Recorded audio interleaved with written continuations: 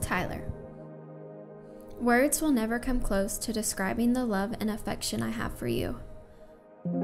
During a period of my life before we met, I always worried I wasn't going to find someone who shared the same love and values as me. I prayed to God every night to lead me to the man He wanted me to marry. I put all my faith in Him because I knew God was going to do so in His timing. It is so true that when you aren't purposely looking for someone, it's when you find that one. Katy, as I sit here writing this letter to you, I'm truly speechless. From the day I met you, I knew you were the one. I want you to know that you coming along was the best thing that has ever happened to me. Without you, I am not sure where I would be.